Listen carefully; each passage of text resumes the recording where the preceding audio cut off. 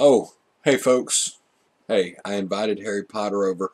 Next thing you know, we're having a couple of drinks and this guy's throwing energy bolts at people like he's crazy. You know what I mean?